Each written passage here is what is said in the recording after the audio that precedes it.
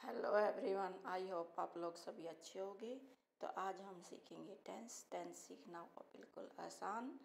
Tense तीन प्रकार के होते हैं। Present tense past tense future tense present tense वर्तमान काल पास्ट टेंस भूतकाल फ्यूचर टेंस भविष्य काल प्रेजेंट टेंस जो हम वर्तमान में काम कर रहे हो प्रेजेंट टेंस में आता है। जो हमने पीछे पास्ट में जो काम किया भूतकाल में, वो पास्ट टेंस में आता है। फ्यूचर जो हमारा आने वाला समय होगा, वो हमारा फ्यूचर टेंस कहलाएगा।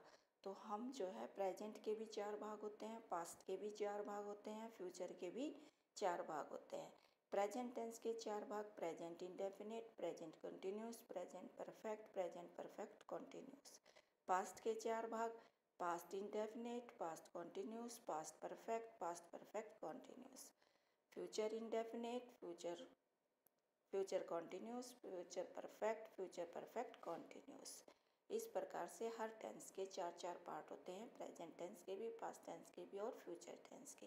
तो आज हम पढ़ेंगे present indefinite tense present indefinite tense को बनाने के लिए हमें सबसे पहले स्ट्रक्चर को सीखना पड़ेगा। स्ट्रक्चर के लिए हमें जो है सब्जेक्ट वर्ब और ऑब्जेक्ट की पहचान करनी पड़ेगी। सब्जेक्ट हमारा सब्जेक्ट प्लस वर्ब की फ़र्स्ट फॉर्म प्लस सब, एस या ई एस प्लस ऑब्जेक्ट। अगर हमारा सब्जेक्ट सिंगुलर है तो हमारी वर्ब के साथ एस या ई एस लगेगा। अगर हमारा सब्जेक्ट प्लूरल है तो वर्ब के साथ एस या ई एस नहीं लगेगा।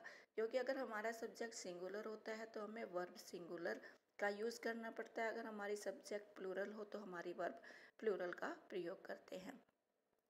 हर वर्ब जो है अपने आप ऑलरेडी प्लूरल फॉर्म में होती है, उसे एस या ई एस लगाकर हम सिंगुलर बनाते हैं।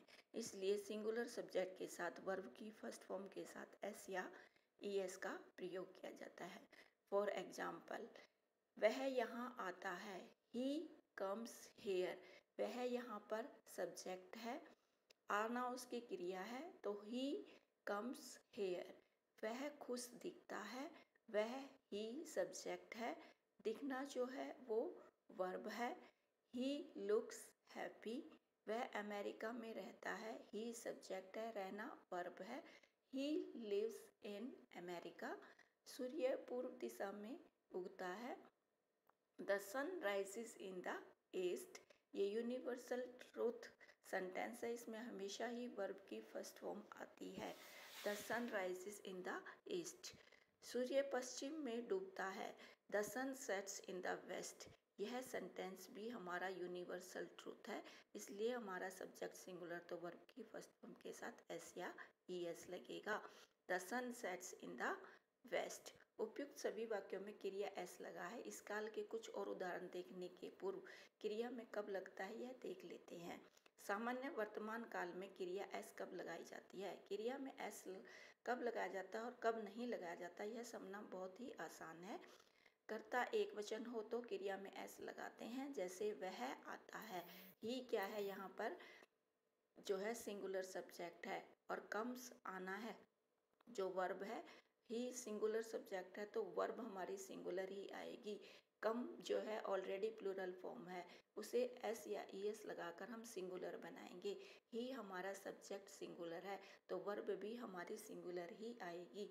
ही कम्स वह खेलता है ही प्लेज ही प्लेज ही भी सिंगुलर सब्जेक्ट है प्ले हमारी ऑलरेडी वर्ब जो है प्लूरल है, इसे एस या ई एस लगाकर हम जो है सिंगुलर बनाएँगे तो हमारा सेंटेंस का जो ट्रांसलेशन है, वो बनेगी ही प्लेस और अगर कर्ता बहुवचन हो तो क्रिया में एस नहीं लगाया जाता, जैसे क्योंकि हमारी वर्ब जो है ऑलरेडी ही प्लूरल फॉर्म में होती है, उसे जो है plural verb single plural subject के साथ एस या ई एस लगाने की ज़रूरत नहीं होती है। वे आते हैं दे कम दे कम वे खेलते हैं दे प्ले वे हँसते हैं दे लाफ वे आते हैं, दे यहाँ पर जो है सब्जेक्ट है, कम यहाँ पर वर्ब है।